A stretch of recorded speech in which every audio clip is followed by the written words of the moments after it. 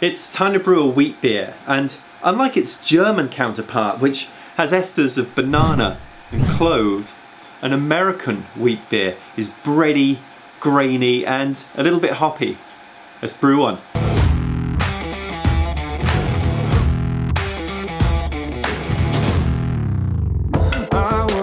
Just a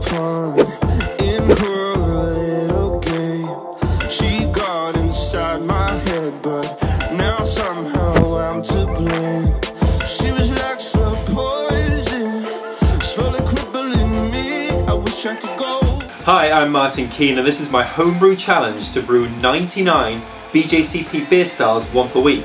This is my fourth one, it's 1D American wheat. Now the grist for this beer style typically consists of about 50% white wheat malt. And then the other 50% is some kind of barley, typically either two-row or Pilsner malt. I'm going for a very simple mix of six pounds of two-row and six pounds of American wheat. And because this beer does contain a large amount of wheat, I'm using rice hulls as well.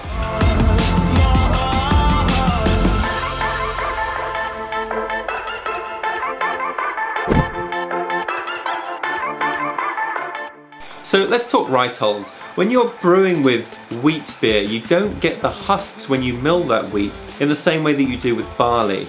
And that can mean that you end up getting a stuck sparge. The way I can tell I have a stuck sparge is when the sight glass starts dropping in the mash tun. So to address that issue, I'm using a liberal amount of rice hulls.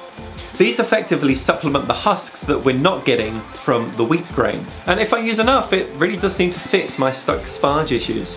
Hops are a mixture of Centennial and Hallertau, and I'm using 0.75 ounces of Centennial as the bittering hop.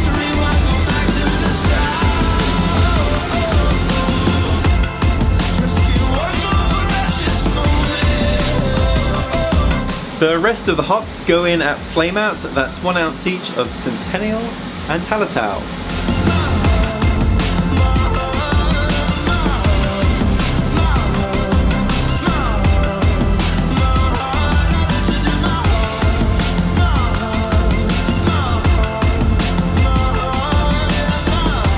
Okay, everything seemed to go pretty well. The beer has come out at 10.48. We were going for 10.49, so that looks good to me. Now let's talk yeast. Normally I make a starter a couple of days ahead of brew day, uh, cold crash it, and then decant and pour it in. I only got home from a trip yesterday, so I didn't have time to do that. So I just made a starter last night, and I am going to pitch directly from that starter into the wort, stealing a bit of that starter, so I'll have some yeast to harvest for next time.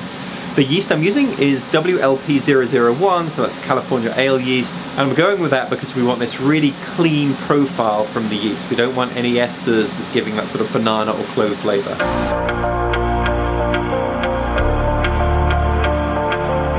So a bit of a uh, surprise on this beer here in uh, its appearance. Uh, this beer ended up being repurposed for a first birthday party for Zoe, and we ordered a pink beer. yeah. So what we did is I took four pounds of raspberries, I boiled a bag, put the raspberries into the bag. Um, the raspberries were frozen, so they're already sanitized. Dropped them into the keg, and in three days took a tasting and immediately decided No more raspberries. yeah, we needed to pull it out. like it got very raspberry very quick. Uh, so we have already tasted this beer a few days ago, but uh, we've given it a bit of time to settle. And so and, and to carbonate, yeah, because it was uh, it was flat. So uh, first of all, appearance. Uh, this definitely doesn't look like your average wheat beer. No, it It's doesn't. uh, got some colour to it. It looks exactly like a raspberry colour. Are you done with your appearance? Oh. Let's pass you to dad over there.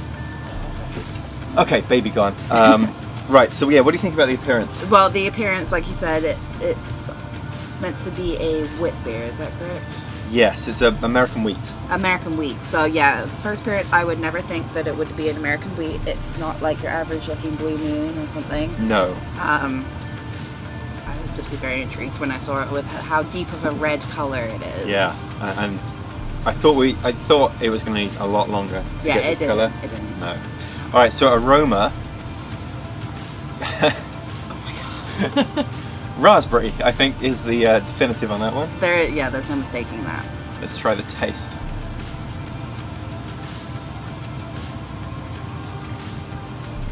Oh, it doesn't taste like raspberries at all.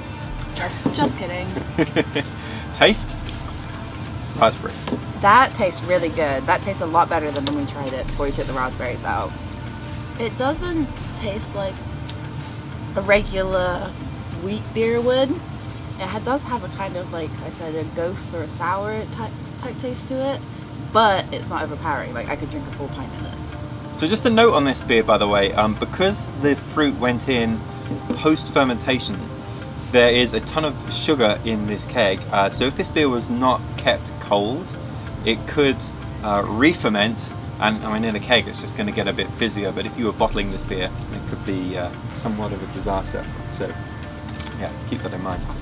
Alright, well I think this has turned out to be uh, an improvisation that was quite successful, Mhm. and happy birthday to Zoe. Happy birthday, Zoe!